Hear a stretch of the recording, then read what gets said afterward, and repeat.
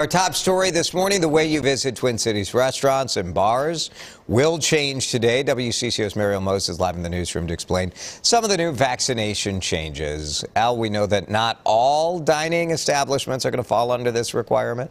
That's right, Jason. So both Minneapolis and St. Paul will require proof of vaccination or a negative COVID test to enter.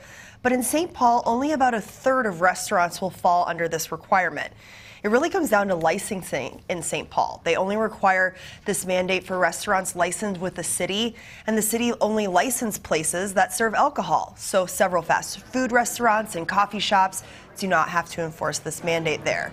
Now, this is an effort by both the mayors of Minneapolis and St. Paul to curb the surge of the Omicron variant that has spread rapidly throughout the city and state. But one restaurant owner we spoke to says it puts a lot of pressure on them to be an enforcer of a strict rule on customers. For us, our company, we're going to do our best to make it the, the least invasive experience possible. And we're in the hospitality business. We're here to give an experience, and we just want you to keep coming out and support us because the industry's hurting and it has been hurting. That's just a reminder to remain patient with these restaurants and bars as they enforce this new change starting today. You can show your physical vaccine card or a photo of it on your phone. And as far as the negative test goes, it needs to be from a lab within 72 hours.